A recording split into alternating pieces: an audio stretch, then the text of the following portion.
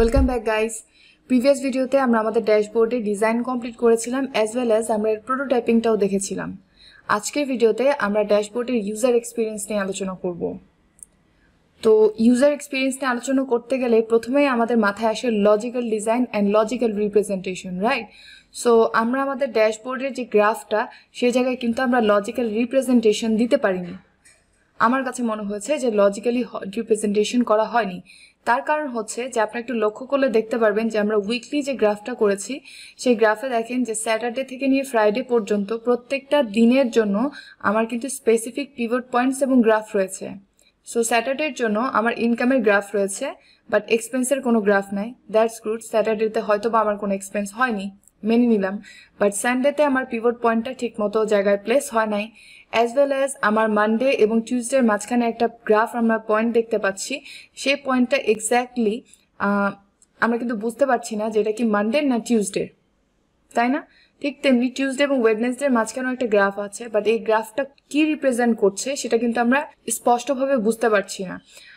এটা ঠিক আছে যে আমরা হোভার করলে দেখতে পারব যে কোন দিন কত ইনকাম বা এক্সপেন্স হয়েছে, সেখানে আমাদের ডেট এবং আমাদের যে উইকলি যে ইয়েটা আছে স্ট্যাটটা আছে, সেটা আমাদেরকে দেখাচ্ছে যে টুইসডেতে আমার এত এক্সপেন্স হয়েছে এবং মানডেতে আমার এত ইনকাম হয়েছে।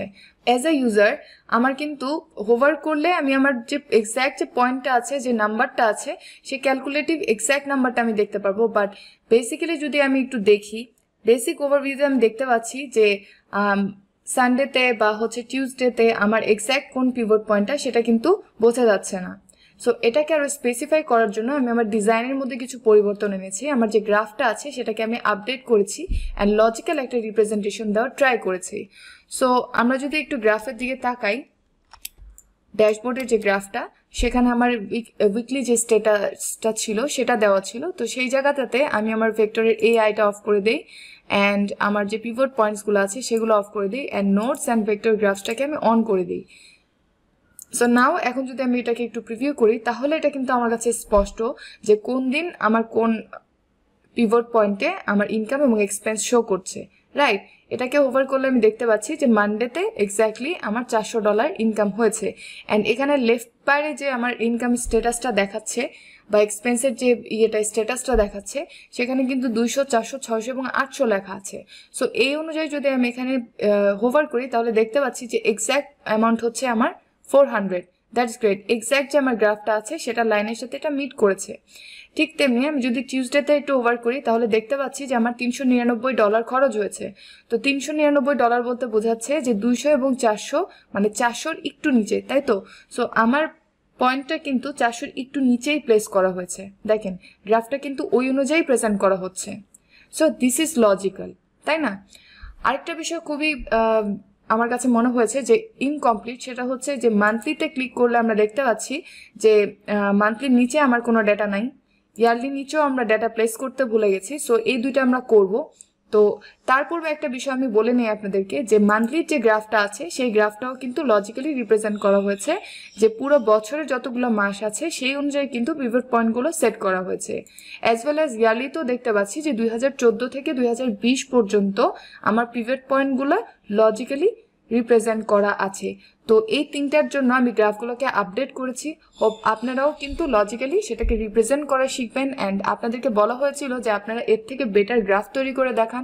সো আপনারা এর থেকে বেটার গ্রাফ যখন তৈরি করতে যাবেন, অবশ্যই মাথায় রাখবেন যে লজিক্যালি সেটাকে রিপ্রেজেন্ট করতে হবে। ওকে সো আমরা আমাদের স্টেটগুলোকে একটু আপডেট করে দিয়ে আসি। লাইক মান্থলির জন্য আমার নিচের যে পোর্শনটা আছে, সেটাকে আমরা আপডেট করব। তো ড্যাশবোর্ডে আমরা দেখতে পাচ্ছি যে বাজেট এবং ট্রানজেকশনের যে পোর্শনটা, সেটাকে আমরা কপি করলে আমাদের হয়ে যাচ্ছে। সো ড্যাশবোর্ড থেকে আমাদের যে মান্থলি যে ড্যাশবোর্ডটা, সেটাতে আপডেট করা নাই। সো আমি কলাম টুতে চলে যাব। কলাম টুতে গিয়ে পেস্ট করে দিব। থার্টি ফাইভ আছে, ওইটাও থার্টি ফাইভই ছিল ডিফারেন্স ইয়ারলি তো অ্যাজ ওয়েল অ্যাজ আমি এটাকে আপডেট করে দিব বাট এটা আমার কলাম টুতে যায় নাই। কলাম টুতে আমি এটাকে পাঠাই দিলাম। অ্যান্ড অ্যালাইনমেন্ট এখন এটা ঠিক করতে হবে, কারণ কলাম টুতে যদি আমি আগে থেকে পেস্ট করে দিতাম, তাহলে আমার এটা করতে হতো না। অটোমেটিক্যালি কিন্তু এটা এটার পজিশনটা ফিক্স করে নিত। থার্টি ফাইভ এখন এটা ঠিক আছে। সো আমরা যদি এখন একটু দেখি মান্থলি এবং ইয়ারলি ঠিক আছে। গুড এখন ইয়ারলি থেকে মান্থলি বা উইকলিতে ব্যাক যাওয়ার জন্য আগের ভিডিওতে কিন্তু আমরা কোনো প্রোটোটাইপিং দেখাই নাই। সো আমি আপনাদেরকে দেখাচ্ছি যে ইয়ারলি ড্যাশবোর্ডে আমি কী করেছি। ইয়ারলি ড্যাশবোর্ডে এখানে যে গ্রাফটা আছে, এই গ্রাফের উপরে লাইক আমি যদি প্রোটোটাইপে ক্লিক করি, তাহলে দেখতে পাচ্ছি যে মান্থলির জন্য একটা লাইক স্টেট আমি সেট করেছি অ্যান্ড উইকলির জন্য একটা স্টেট সেট করেছি। সো মান্থলিতে ক্লিক করলে এটা আমার মান্থলি ড্যাশবোর্ডে চলে যাবে অ্যান্ড উইকলিতে ক্লিক করলে এটা আমার উইকলি ড্যাশবোর্ডে ব্যাক যাবে। মানে হচ্ছে মেইন যে ড্যাশবোর্ডটা সেটাতে ব্যাক যাবে। সো মান্থলির জন্য আমি দিয়েছি navigate to monthly status and উইকলির জন্য আমি দিয়েছি ন্যাভিগেট টু ড্যাশবোর্ড ডিরেক্ট ড্যাশবোর্ডে চলে যাবে। ঠিক আছে? সো এটা যদি আমরা একটু দেখি যে উইক ইয়ারলি থেকে আমি মান্থলিতে ক্লিক করলে মান্থলিতে চলে যাচ্ছে অ্যান্ড উইকলিতে ক্লিক করলে উইকলিতে চলে যাচ্ছে। তাই না? সো আমরা কিন্তু মাল্টিপল প্রোটোটাইপিং একটা ড্যাশবোর্ডে করতে পারি বাট আমি সবসময় ড্যাশবোর্ডগুলোকে আলাদা আলাদা এবং প্রত্যেকটা স্টেজকে ডিফাইন করার চেষ্টা করি। তার কারণ হচ্ছে যে ফিগমাতে যদি আমরা একটু প্রিভিউ করি অল প্রোটোটাইপ যদি আমরা একটু প্রিভিউ করি, তাহলে দেখতে পারব কোনোটাই সিলেক্ট করলাম না। প্রত্যেকটা ড্যাশবোর্ডে আমরা দেখতে পাচ্ছি যে আমাদের প্রোটোটাইপ এই এতটুকু কি অবস্থা? প্রত্যেকটা স্টেজ আলাদা করার পরও প্রোটোটাইপের অবস্থা খুবই খারাপ। সো যেহেতু বেসিক্যালি এই প্রোটোটাইপগুলোকে আমাদের স্টেজ ওয়াইজ করতে হয় সো এটাই বেটার যে আমরা প্রত্যেকটা স্টেজকে আলাদা করে প্রোটোটাইপিং কমপ্লিট করি। এটা হতে পারে যে একটা স্টেজে আমরা মাল্টিপল প্রোটোটাইপিং দিয়েছি, সুবিধার্থে যেন আমার আরেকটা স্টেজ তৈরি করতে না হয় বাট আমি বলব স্পেসিফিক্যালি আলাদা আলাদা স্টেজ তৈরি করতে।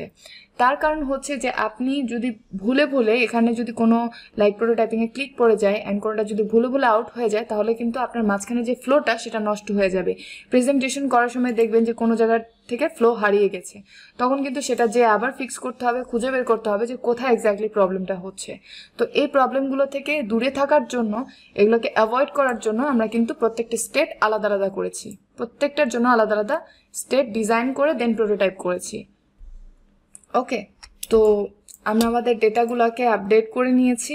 সো আমরা যদি এখন ফার্স্ট থেকে প্রিভিউ করি, তাহলে আমরা দেখতে পারব যে monthly status then yearly status then monthly then yearly বা উইকলি আমি ব্যাক গেলাম। যাওয়ার পর এখান থেকে যদি আমি অ্যাড করি, আমার অ্যাকাউন্ট অ্যাকাউন্ট অ্যাড করলে একটা স্টেপে এই আমার যে কার্ডটা সেটা অ্যাডেড হলো। ঠিক তেমনি আমি বাজেট অ্যাড করলাম। বাজেট অ্যাড করলে বাজেট অ্যাড হলো। অ্যান্ড দেন আমি ট্রানজ্যাকশন অ্যাড করলে ট্রানজ্যাকশন অ্যাড হলো। সো এটা কিন্তু পুরোপুরি একটা সিকোয়েন্সিয়াল ম্যাটার তাই না? আমি সিকোয়েন্স অনুযায়ী আমার প্রোটোটাইপটাকে নিয়ে যাচ্ছি। সিকোয়েন্স ব্রেক হয়ে গেলে কিন্তু প্রোটোটাইপিং উল্টাপাল্টা হয়ে যাবে, তখন আপনার নিজেরই ডিফাইন করতে কষ্ট হবে যে কোথায় আমার প্রোটোটাইপটা ছুটে গেছে বা মিস হয়ে গেছে। ঠিক আছে? তো আশা করি আপনাদেরকে বোঝাতে পেরেছি যে প্রোটোটাইপিংয়ের স্টেজিংটা কেন ম্যাটার কেন আপনাদেরকে স্টেজিং করে প্রোটোটাইপিং করতে হবে। অ্যান্ড প্রথম ভিডিওতে আমি বলেছিলাম যে ড্যাশবোর্ড কমপ্লিট করার পর আমরা যে লগ আউটের যে সিস্টেমটা আছে সেটা দেখাবো। তো এটা একদমই সিম্পল। আই হোপ আপনারা বুঝতে পারছেন যে এটাতে ক্লিক করলে করলে এটা ন্যাভিগেট করবে। আমার লগ ইন যে ড্যাশবোর্ডটাতে স্ক্রিনটা আছে, সেটাতে চলে যাবে। সো এটাতে ক্লিক করলে আমার কিন্তু লগ ইন স্ক্রিনে চলে গেলাম। লগ ইন স্ক্রিনে আবার ক্লিক করলে আমার ড্যাশবোর্ডে ব্যাক চলে আসলো। দ্যাটস ভেরি সিম্পল তাই না? সো এখান থেকে আপনার জাস্ট এই আইকনটাকে সিলেক্ট করতে হবে। লাইক আমি যদি লাস্টের ফ্রেমটা সিলেক্ট করি লাস্টের ফ্রেম আমাদের ছিল হচ্ছে এইটা ট্রানজেকশন অ্যাড করেছিলাম লাস্টের ফ্রেমে এখান থেকে আমি যদি এই লাইক লগ আউটে ক্লিক করি, তাহলে অন ক্লিকে কি হবে? এটা ন্যাভিগেট করবে লগ ইনে ঠিক আছে? সো ফিগমাতে যে আপনার প্রোটোটাইপিং করার যে অপশনগুলো সেটা খুবই সিম্পল খুবই দুই চারটা অপশন দেওয়া আছে। খুব অ্যাডভান্স কোনো অপশন দেওয়া নাই। স্মার্ট এনিমেট থেকে নিয়ে শুরু করে খুবই সিম্পল সিম্পল কিছু অপশন দেওয়া আছে, যেটা দিয়ে আপনি ইজিলি প্রোটোটাইপিং করতে পারেন। অ্যান্ড আমার কাছে মনে হয় যে ফিগমা প্রোটোটাইপিং করার জন্য খুব অসাম তার কারণ হচ্ছে প্রত্যেকটা স্টেজে ডিজাইন করে আপনি কিন্তু সিকোয়েন্সিয়ালি জিনিসটাকে নিয়ে যেতে পারছেন সর্টেড ভাবে। ঠিক আছে? যদি হজবরল হয়ে যায় তাহলে প্রবলেম হবে। আপনার প্রোটোটাইপিং কোন জায়গা থেকে মিস হয়ে যাবে, আপনি সেটাকে ম্যাচ করতে পারবেন না পরে। সো আই হোপ আপনাদেরকে বোঝাতে পেরেছি। পরবর্তী ভিডিওতে আমরা আলোচনা করব হচ্ছে আমাদের নেক্সট পোর্শন যেটা, সেটা হচ্ছে অ্যাকাউন্ট সেকশন অ্যাকাউন্ট সেকশনের লাইক আমার অ্যাকাউন্টের ইনফরমেশনস আমার কারেন্ট ব্যালেন্স আমার কার্ডগুলো অ্যাকাউন্টগুলো আমি দেখব। অ্যান্ড ট্রানজেকশন হিস্ট্রিতে আমরা দেখব যে কোন কার্ডের আন্ডারে আমার ব্যালেন্স কতটুকু আছে। অ্যান্ড শর্ট করে আমরা একটা ট্রানজেকশন হিস্ট্রি দেখতে পাবো এখানে। ঠিক আছে? তো এই পোর্শনটা পরবর্তী ভিডিওতে আমরা ডিজাইন করব। আজকে এতটুকুই। দেখা হচ্ছে পরবর্তী ভিডিওতে। ধন্যবাদ সবাইকে।